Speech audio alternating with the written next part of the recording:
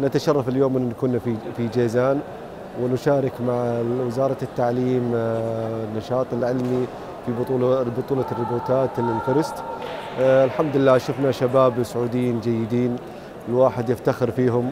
آه، مشاريع رائدة مشاركة قوية منافسة جيدة انتشار ثقافة الريبوتات.